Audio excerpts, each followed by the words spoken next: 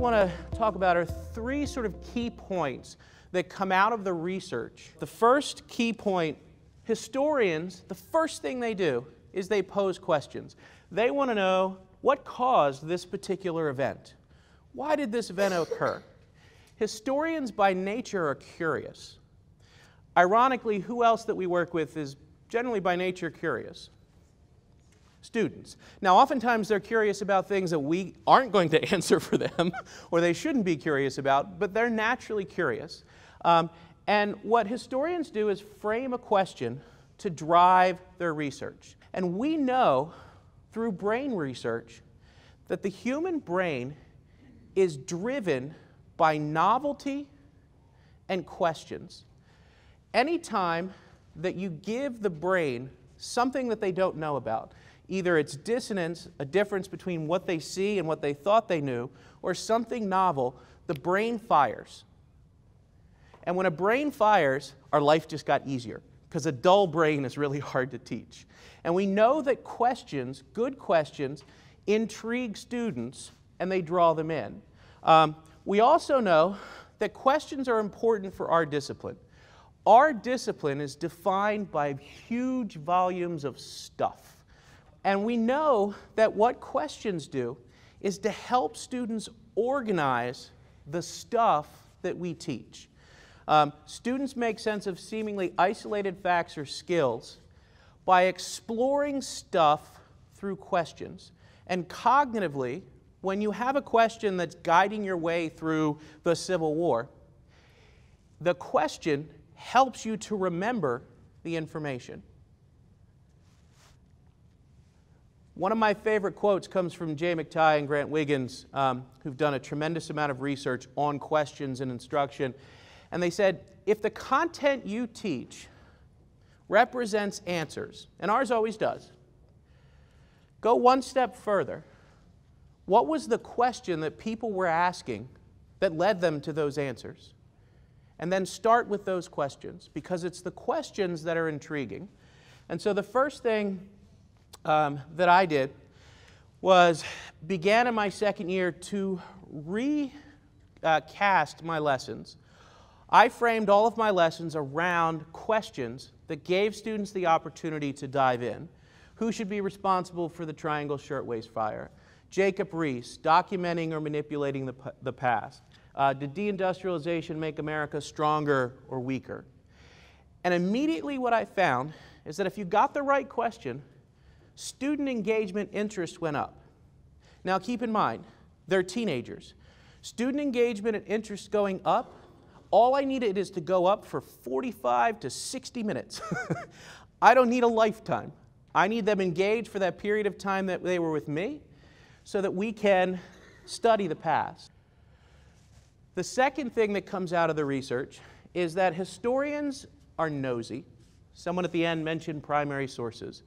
Historians, they want to read your love letters, they want to sift through your garbage, they'll want to read your emails. At some point in time, they'd like to read your texts. Can you only imagine? Who else do we know that's nosy? Students. Why are you wearing those shoes? Are you married? They're nosy. They want to know about everything. We got to get them nosy about history. Um, and Bruce VanSledright, who I mentioned was a middle school teacher and has done a tremendous amount of research on this instruction at the upper elementary and the middle school level, talks about the fact that what uh, historians do is source work. After an historian poses a question, they dive into the stuff of history. And so if you go back to math for a second, math starts with a problem, and then you have to show what? You have to show your work, and it has to be written in what? Pencil. Good, you know your math teachers. Um, what VanSledright argues is that if students are going to be engaged in the past, just posing a question isn't enough.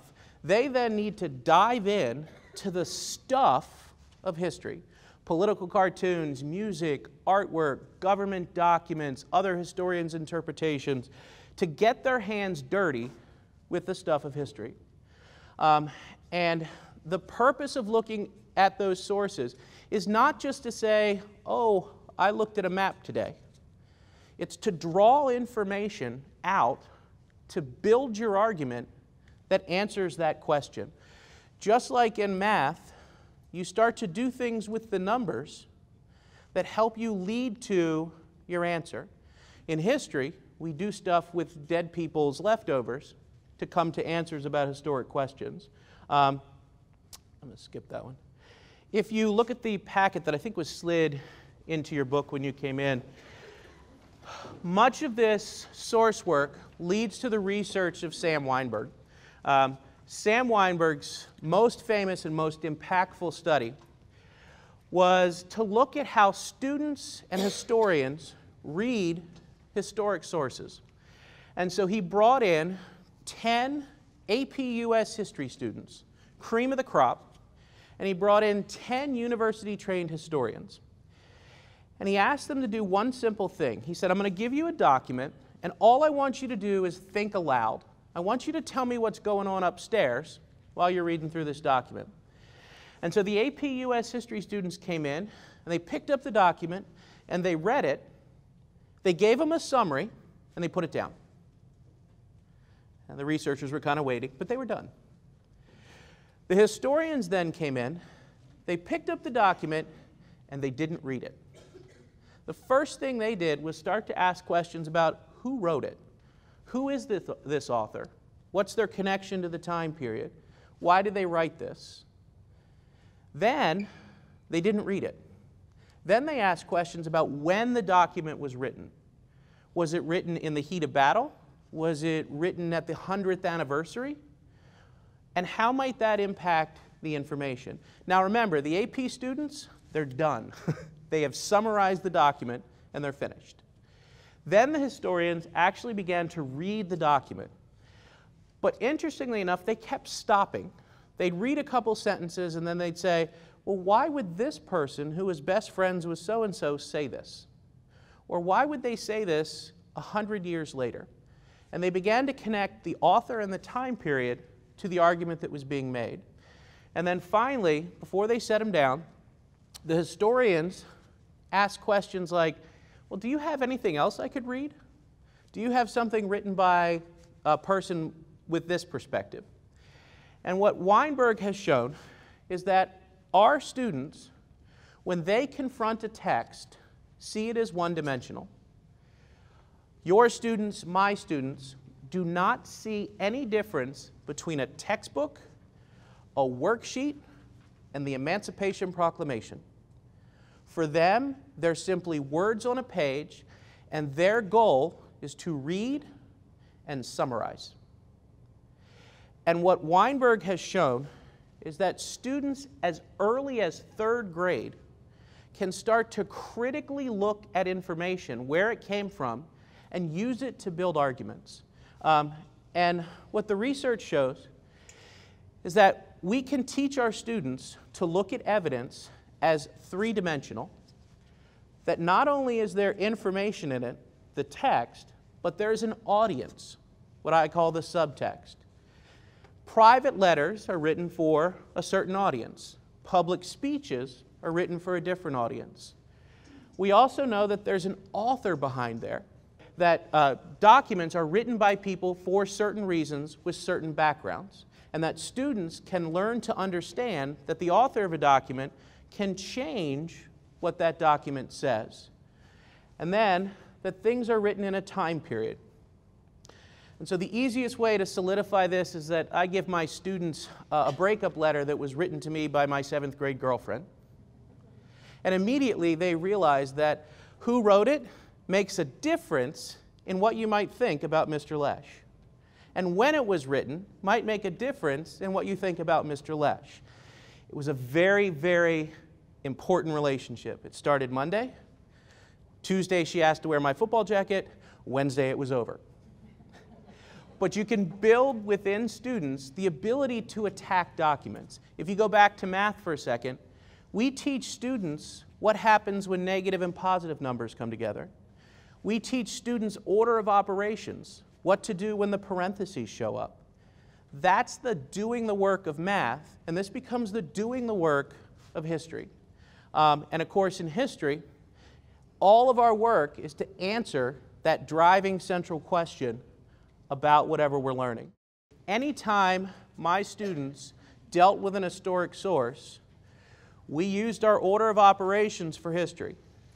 First, we ask questions about the subtext. What do we know about the author? What do we know about their background? How might it impact what they've done? What do we know about the context? What do we know about the time period that was written? How might that impact it? Then we read the source, and then we have to corroborate with other sources. Um, and what we'll do in a few minutes is start to employ these skills in the context of a lesson to see how you would do this with students and the kind of things that you might have to build into your instruction. The last part of the research indicates that what historians love to do is argue. Who else do we work with that loves to argue? Kids. They will argue about anything just to avoid having to do any work. They have to make their arguments in what two ways? One is in their writing, whether it's books or articles, they argue back and forth with through their writing. And the second way, in the classroom, their lectures.